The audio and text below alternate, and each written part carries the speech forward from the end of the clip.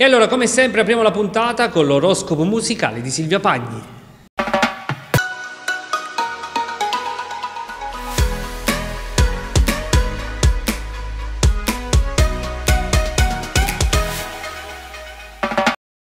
Bentornati cari telespettatori all'oroscopo musicale. Sempre sotto il segno dei pesci a Milano nasceva un pianista, cantante, attore e conduttore televisivo.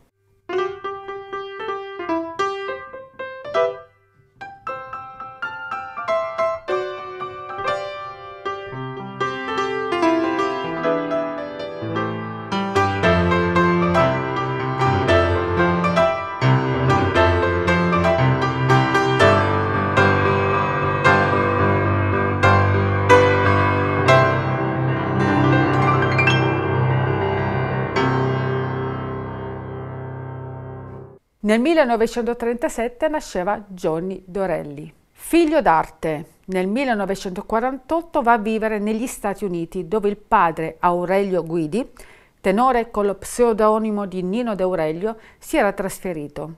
Studia il contrabbasso e il pianoforte alla High School of Music and Art di New York e si fa notare in concorsi televisivi per giovani talenti, dove si esibisce con il nome d'arte Johnny Dorelli, il cognome d'Aurelio storpiato dagli statunitensi. Esordisce nel 1951 a 14 anni con il 78 giri a Rotino e Femme Dormì per la voce del padrone.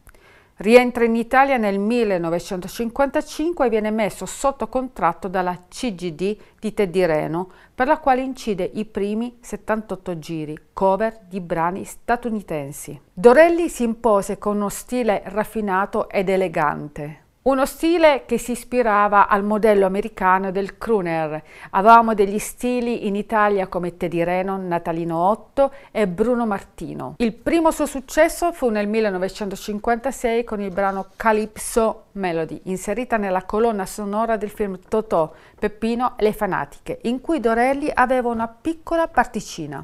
Altre famose canzoni del repertorio di Dorelli sono Piccolissima Serenata, Refrain, Concerto d'autunno e non ti vedo. Reduce dalla gavetta d'oltreoceano, Dorelli inizia come pianista jazz. In seguito si dedicherà come autore in alcune trasmissioni televisive dell'epoca come Johnny 7, Johnny Sera e Senza Rete.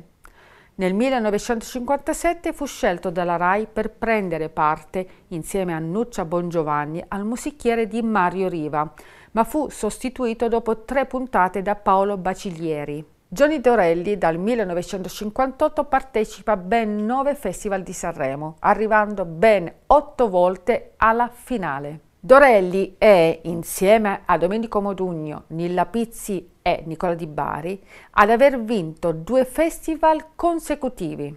Come abbiamo ben detto prima, lui debutta al Festival di Sanremo nel 1958 con Domenico Modugno e vince con il brano Nel blu dipinto di blu.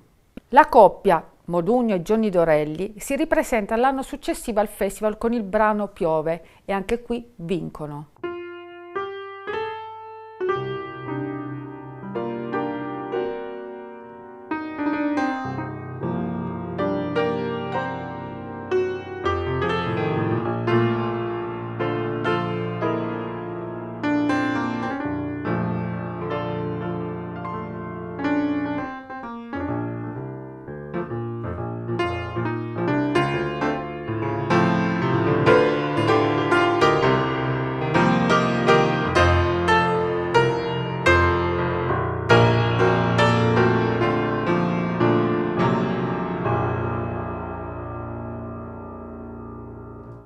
Johnny Dorelli partecipa come attore all'operetta La Vedova Allegra. Qui conosce e si innamora di Catherine Spack.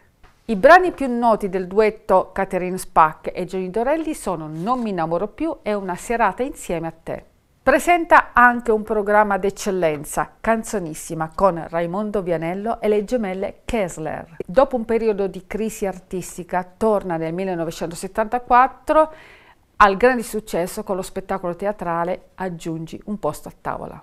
Con lo spettacolo Accendiamo la lampada del 1979 incontra e si innamora della sua futura moglie Gloria Guida.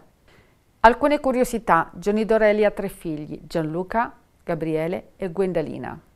Ha una particolarità, gli occhi di colore diverso, caratteristica chiamata eterocromia.